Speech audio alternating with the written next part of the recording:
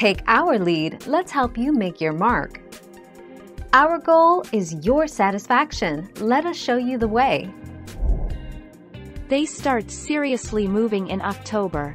Back on October 1, 1988, birdwatchers counted over 60,000 robins migrating over Duluth in northern Minnesota, so that's serious migration. But in fall and winter, robins don't stay in a single spot for long, they wander about searching for new sources of still fresh fruits.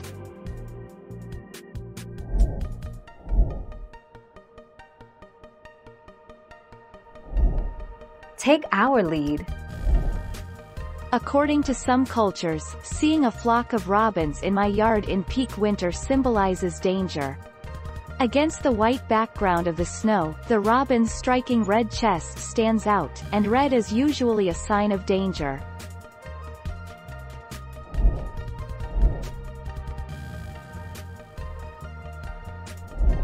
Let's help you make your mark.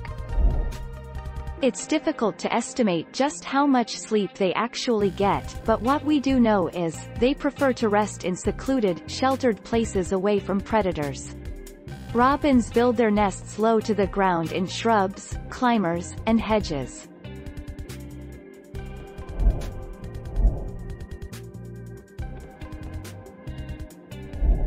Let's help you make your mark.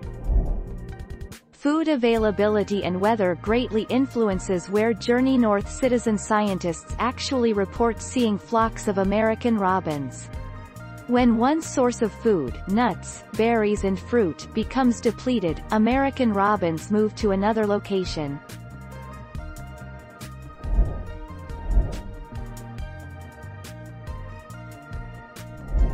Make your mark, take our lead.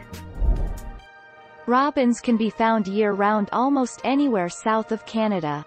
Birds that breed from Canada to the north slope of Alaska leave in fall for the U.S. Some robins winter as far south as the southwest, Mexico, and the Gulf Coast.